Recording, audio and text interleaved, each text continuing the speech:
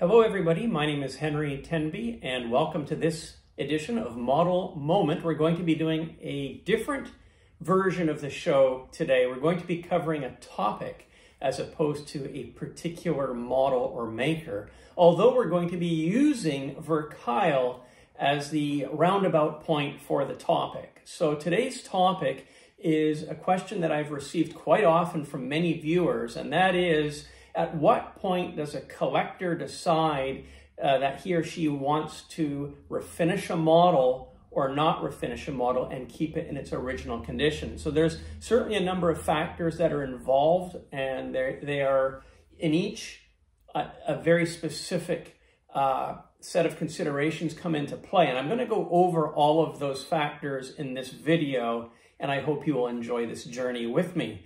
But first of all, I'd like to thank everybody for tuning in.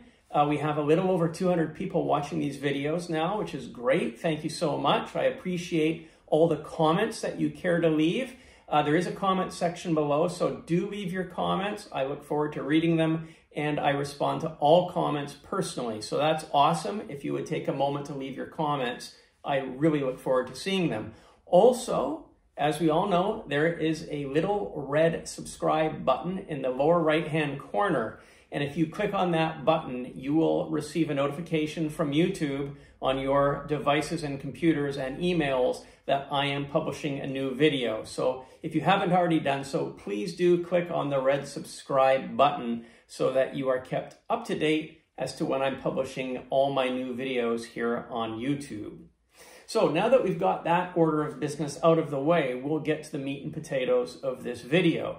Why and when does one convert a model that's been painted many years or decades in the past to a new livery and bring it up to standards with new paints and finishes? Why does one do it? When does one do it? Well, look what I have in front of me. These are all Verkuyl F28. So the, the manufacturer that we're going to be using to illustrate this topic is none other than Verkuyl.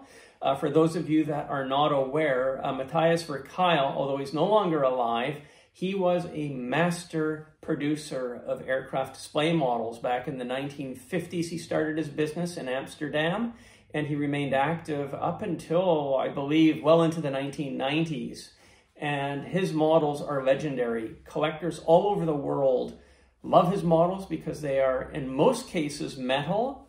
They are metal, you can hear the ring, and they're very accurate, and he finished them to a very high standard. And he produced, naturally, being from the Netherlands, a lot of the models, if not all of the models, for the Dutch aircraft builder Anthony Fokker and their F-27s and F-28s, and later F-50 and F100 models and F70 models were all stemmed uh, from productions that were uh, conceived by Verkuyl. So this was the Verkuyl staple. It's a 172nd metal F28, and it is in the livery of, uh, it's in the Fokker House livery. This livery, I believe, dates to about 1971-72, and the aircraft registration is PHMOL, which was the Fokker demonstrator. And as you can see, on this table alone, I have three of them, plus I've got another two behind me. So I actually own five of these models,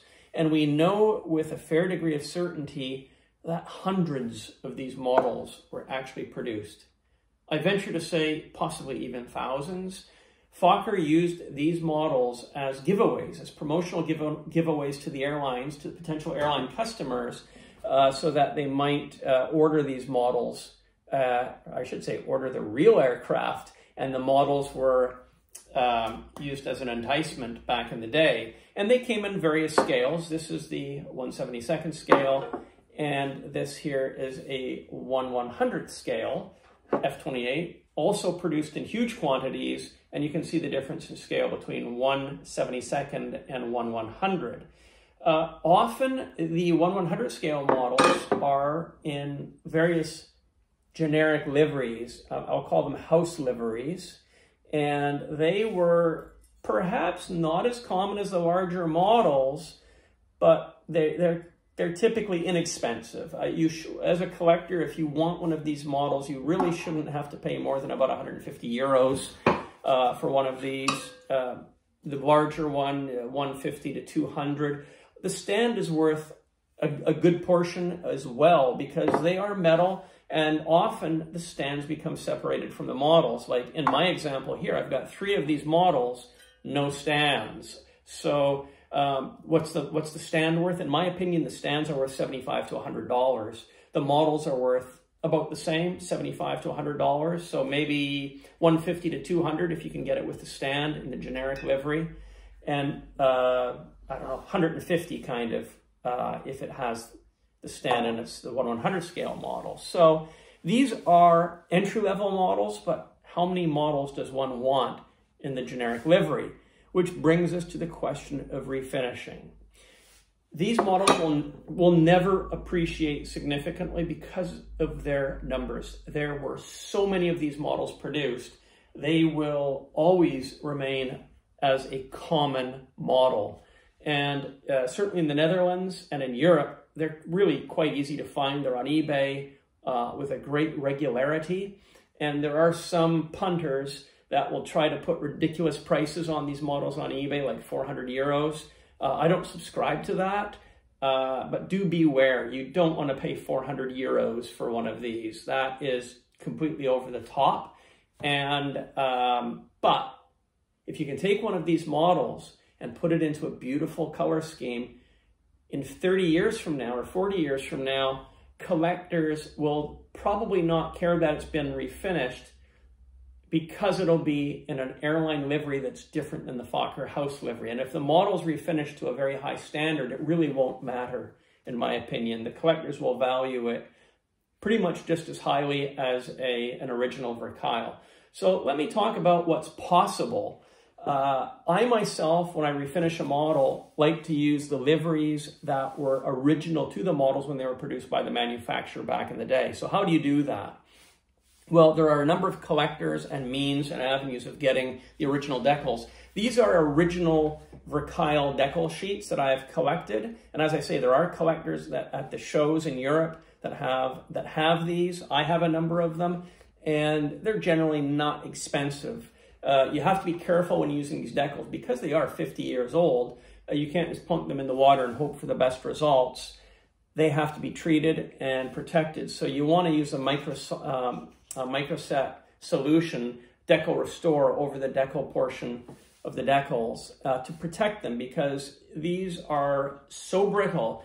In many cases, if you put them in the water uh, and you're rough with them, they'll just shred into a million pieces and they'll be useless. So you have to put some form of decal restoration uh, coating on these before you use them. But look at this decal. This is this is Bonanza Airlines uh, Fokker 28. Bonanza, of course, never ordered I don't believe they ordered the aircraft, but I know the models were made in, for presentation um, for Bonanza, which is a U.S. West Coast airline uh, back in the 1960s. So there's one option. Here's one that uh, is kind of nice. This is Upper, well, Air Volta, I guess from Upper Volta in Africa. This is their F-28 livery. So this deco was made for the 172nd F-28.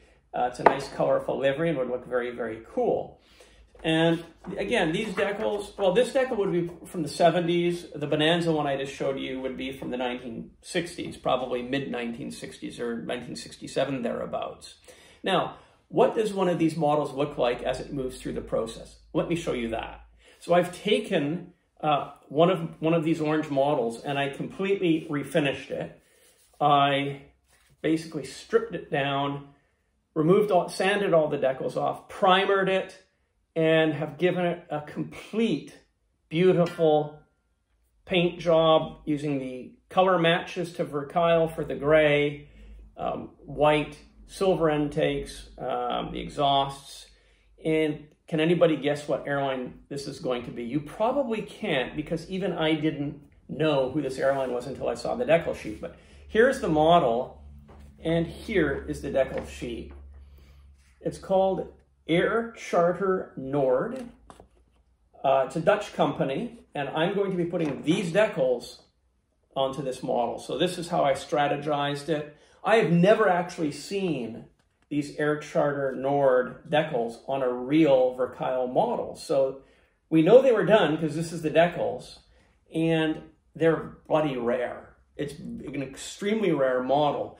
And for all intents and purposes, in 30 years, when this model is completely refinished and beautifully clear coated, uh, it's going to be, it, it's not the original Verkuyl 100%, but it's as close as you can get to it because it's the original Verkuyl model. It's been refinished and painted to Verkuyl standards, and it's been redeckled with the original Verkuyl decals. So I'm going to call it a 90% original Verkuyl. But again, 30 years from now, when somebody picks up this model and it's complete in the uh, Air uh, Charter Nord markings, it's going to value, in my opinion, very similar to what if someone had one, the real Verkuyl 100% authentic would be. And what's that number going to be? Well, today it's it's several hundred dollars because again, just the cost of the model and the stand is at least $200. The labor to uh, strip, sand, primer, multiple paints. Uh, we're talking again, one, two, three, there's five different colors here. Put the decals on, clear coat it. There's a couple, at least two to three hundred dollars of labor involved in that. So we're already at five hundred dollars. And that doesn't account for any markup on top of that. So realistically, it's a six to seven hundred dollar model by the time this comes out of my paint shop. And I believe that is a, a, a very significant improvement on having a tub full of these house livery models. But the F28 is quite iconic, it's quite collectible. European collectors are very interested in the model, they like the model, it's popular. And the liveries that are uh, airline potential and airline customer liveries are much more valuable than these house models. So let me show you some more of what's possible in the F-28 range. So here we have an Iberia F-28. This is a, an original Verkuyl model that I completely restored using the original Verkuyl Iberia decals. I did this project about five years ago, and these decals were brittle, super, super brittle and super fragile and very thin.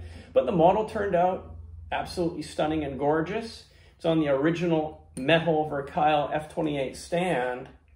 And look at that, isn't that very cool? So as you can see, this model, uh, in my view, it will value it in the several hundred dollar range. It has to, it has to, because again, the cost to acquire this is 200. The cost of restoration, my cost of restoration is in the three to $400 range. So that takes us to five, easy.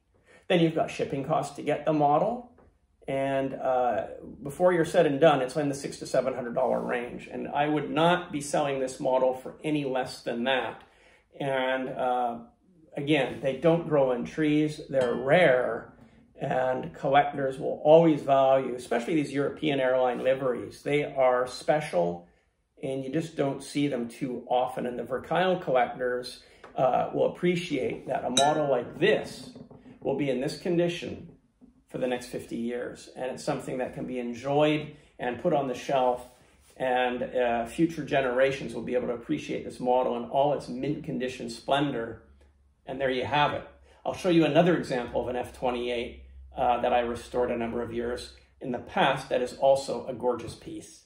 So what we have here in front of us is a Fuerza Aérea del Peru, Peruvian Air Force Fokker F-28. These are original Verkuyl decals. This is an original Verkuyl F28 model on the original stand. And this was a house livery model that I put through a very, uh, very detailed restoration and brought it up to what I would consider a very collectible status.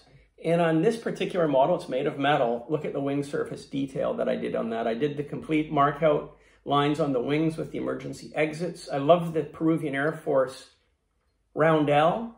And then I'll just take this off the stand, show you the underside of that. Again, we've got the Peruvian Air Force roundel here. And I've put the Verkuyl, original Verkuyl decal with restoration date and my name on the underside. And yeah, you can hear that's metal. And isn't that a, didn't that turn out gorgeous? I mean, it, Air Force, Peruvian Air Force is it's a simple scheme, but it's a gorgeous scheme. I like the tail detail is really cool. Uh, this is a model which I really like a lot. It's super attractive And um, yeah, I mean, look at the gray, just beautiful, absolutely stunning. And lots of value there. And again, comparing the two, this model is worth at least triple what the house livery model is worth. So well worth putting the effort into it. It's a great investment. And again, a model like this, how often would you see one of these? In my entire collecting career, I've only seen this one. I've never seen another one. I'm sure there are collectors in the Netherlands that do have one of these, but uh, out here in Canada, this is just such a special model for me, and I'm uh, grateful to have it. I'm glad that I put the efforts into doing this restoration. And the clear coat, the real heavy clear coat, just really makes the livery pop. Isn't that cool? So we're now going to move our discussion to the Verkuyl Hercules. The Hercules is another type that was produced in very large numbers by Verkuyl in the 1960s and 1970s. Reason being, Verkuyl had a contract for with Lockheed to produce giveaway models, promotional models for the C-130. So hundreds, if not thousands of these models were made for giveaway.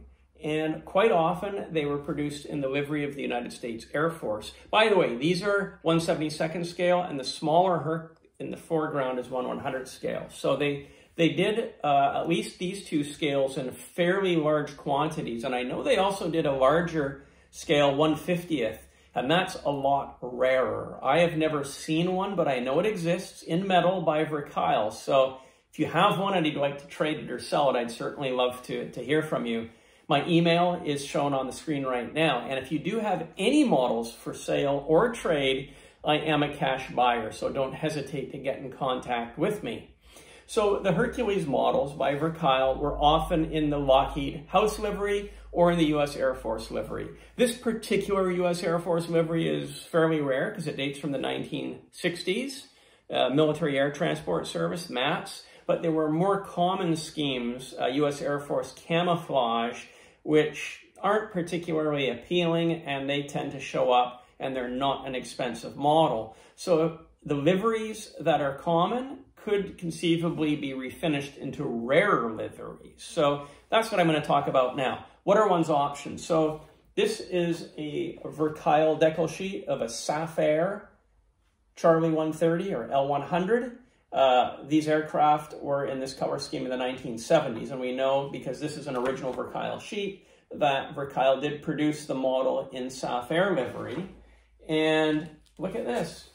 I have the, act here is the Pacific Western Airlines C-130 decals, and here's the actual real model. So we know for certainty, with certainty, that Pacific Western Airlines was on the receiving end of these models from Lockheed back in the, in the 1970s.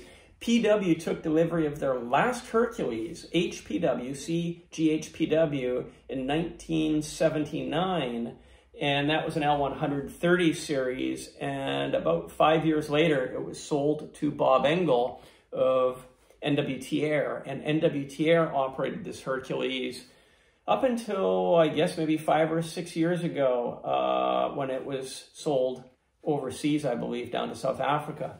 And this Hercules was the only civilian registered Hercules in Canada for about 30 years, certainly, you know, all of the 80s, 90s, and 2000s until First Air sold it. So, yeah, there you go. This is a real nice model. It's the pride of uh, one of the pride of my uh, collection, and it's a look at the props. I love the props. They're made out of looks like they're hard black plastic, So that's very very cool. So this is what a model looks like that has been. Uh, this is a C130 uh, L120 or C130A model, short body, uh, similar to this one here. Whereas this Herc is an L130, so it's a little bit longer. I don't know if you can quite make out the, the difference, but this is the stretched Herc and this is the short Herc, standard sized Herc. And so I, I had a couple of these in metal and they're in the process of being refinished. So can anybody guess what color scheme this is going to be in? Well, I can show you because I've got the original Verkuyl decals. It is going to be going into, da-da, this is Pacific Western Airlines livery, but it's the livery from the 1960s. It's the livery before the blue livery. So this was the livery when the aircraft were first delivered in about maybe 66. And I'm putting this Herc into that livery. I think that's going to be very, very cool. I'm Canadian. I love Pacific Western Airlines. So for me, it was a natural for this. But you can see how I've set up the white, the white and the silver and the black nose to accept delivery of that Pacific Western Airlines decal. So what else is a possibility? Well, this is a the same model which I refinished and it's in the process of going into Alaska Airlines livery. Alaska and a lot of the North Slope Alaskan operators of the 60s operated the C-130. Uh, the civilian version was designated the L-100. This is an L-120 N9227 Romeo. And these decals, these uh, golden nugget decals, were done by Greg Drawbaugh of Draw, Dec of Draw Decal, and he did a great job on these decals. So this model is in the process of being refinished. I've got, I still have to do the clear coat, but as you can see, it does look quite attractive in the Alaska Airlines Golden Nugget livery. So, but what other options would one have? Well, uh, there are a number of aftermarket decal makers that do produce Hercules decals. Uh, I do have another Hercules that's behind me on the shelves, and I bought these decals for it. These decals are Ethiopian. That's an L130 decal, and that's going to be on that, well, you can't quite see it, but it's up there on the shelf behind me. So that's going into Ethiopian livery. So there are lots of options out there. And again, for the models that are super common, uh, it really is a good investment of one's time and effort to refinish them because you can create some good value for yourself. You can expand the range of and appeal of your collection, and you'll have an asset that I believe will appreciate in time. So the Hercules are a great series of models, the Verkuyl Hercules, to consider for refinishing if they are not already in original airline uh, or military liveries from the 1960s and 70s. So that would be my advice as well as another airline model uh, for refinishing. I'll move on to our next candidate now.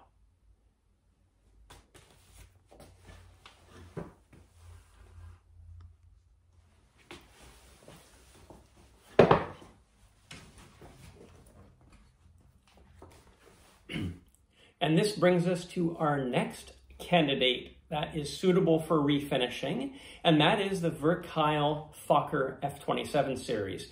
Now, before I get on with the uh, presentation on the F27, this is my book. It's the Aircraft Display Model Collector, Investor, and Appraisal Guide. You might consider getting a copy for your, for your bookshelf and reading because I do feature a very in-depth chapter all about Verkuyl models several pages long that and it, we discuss the values of these models the models which are rare those models which are common and it's a very comprehensive uh, summary of the Verkuyl production uh, during his entire model production career. So you might check it out uh, if you're interested in more information on my, on my book or purchasing my book you can do so from my website henrytenby.com that's available on the click out and on screen now so you might give that some consideration as well. So the F-27, why would this model be worthy of refinishing? Well, it's the very similar story as the F-28. Thousands of these were produced in Fokker House livery, in the orange Fokker House livery. And they are not very valuable when they're in the orange livery. They were produced in such great numbers that they are readily available at pretty low cost. And if you want to have something special, you want to have a livery that is not the Fokker House livery. So what's possible? So uh, again, I'm going to show you some uh, decals, old original Verkuyl decals that I have. This is Aviaco F27. That would be very cool. This is TAAG Angola, quite colorful, actually. And we have Wow, this is neat. This is an old decal sheet. This is uh, Malaysian Singapore Airlines F-27 MSA. It would date from about 1966. So imagine this decal is 55 uh, years old, uh, thereabouts, and it needs to be handled with kid gloves. You've got to be really careful when you apply a decal that's that old. And here we have uh, one of my favorites, PAL Philippine Airlines. And this livery is actually going on this very model here. I'm preparing this model to accept these decals. And I think that's going to look really, really cool.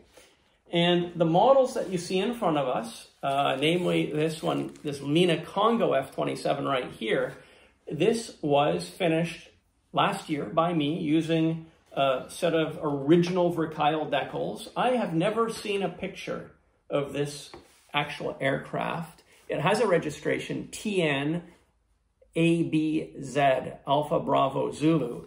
And I went onto the internet and I could not find Lina Congo in this livery and that registration. So I don't know if the airplane really existed or if this was a, uh, a scheme that was presented only for sales purposes.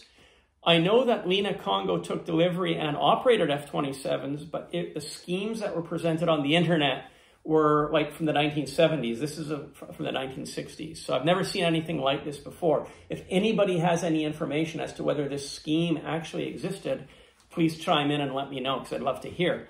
This is another model which I refinished last year into Libyan Arab colors and uh, turned out really quite nice actually.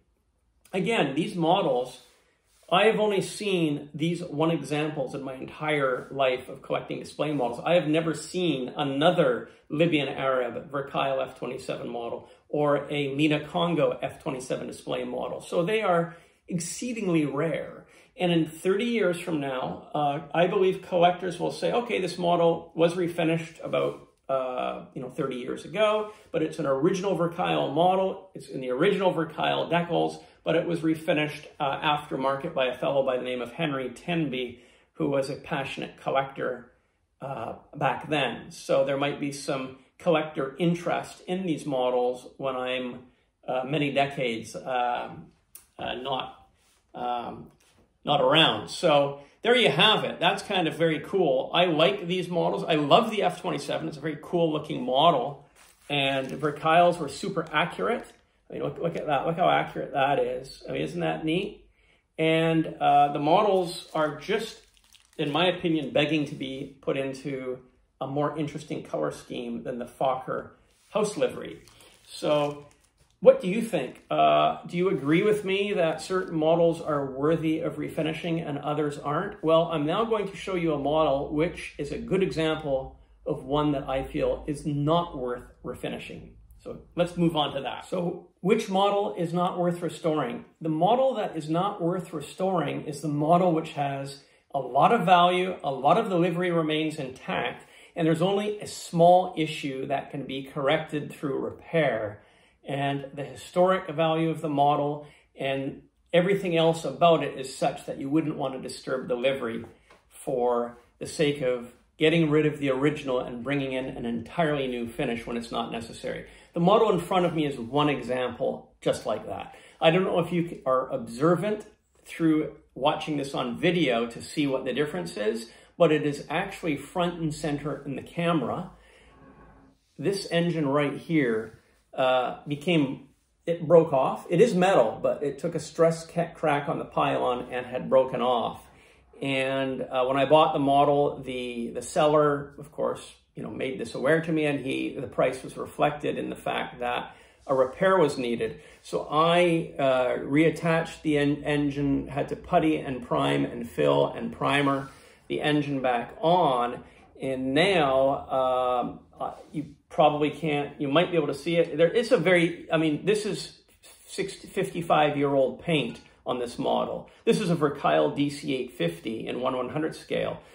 It's a rare model because the DC850 was produced in very small numbers in 1 100 scale by Verkuyl.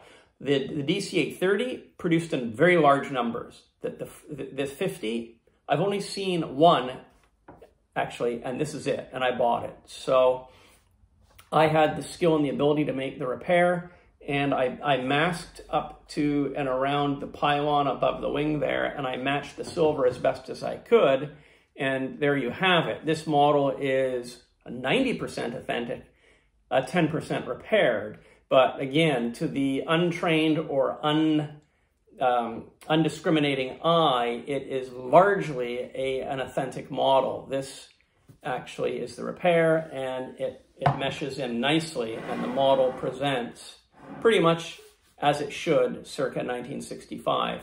The color scheme, yeah, KLM, it's a beautiful color scheme. This is the 1960s uh, scheme with the multiple bands on the tail, seen at airports all around the world. And the DC-8 is an iconic airliner. The, you know, these models you just cannot find in good condition like this. They do show up in beat up condition. They show up in condition that's worthy of being repaired. And even then, when they do show up, they're expensive. Uh, I don't think you can touch these models for much less than three or 400 euros. And in good condition, they're, they're uh, several hundred euros for sure, just because of their rarity.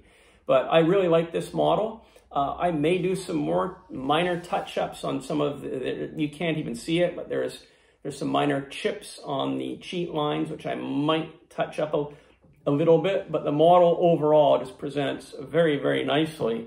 And it's a model that I'm very happy to have in my collection. I really, really like this model, and I hope you would agree that this is a model that one wouldn't want to refinish for those obvious reasons. So that brings us to the end of our presentation. I hope you've enjoyed it. If you have comments, if you have refinished models, I'd like to hear what models you refinished and why you made the decision to refinish them. If you disagree with some of the points that I've made, that is absolutely perfect. That's fine and fair. And I'd love to hear your reasons for disagreement because this is an open forum and it's all about sharing our values and, and opinions and ideas with each other as we're all very serious collectors and we respect each other's views on, on these topics. So thank you very much for tuning in and I'll look forward to seeing everybody on the next edition of Model Moment. But before we end, I would just like to remind everybody that this is a beautiful color slide of an Air Canada Vickers Viscount. I'm also a collector of aircraft slides. So if you have a collection of Kodachrome or slides, especially old slides from the 1960s. I am a cash buyer. I'm keen to buy your collections. So do send me a message. My email's on the screen right now, and I would love to hear from you. So thank you very much for that. Wishing everybody happy collecting, have fun, stay safe, and we'll see everybody on the next edition of Model Moment.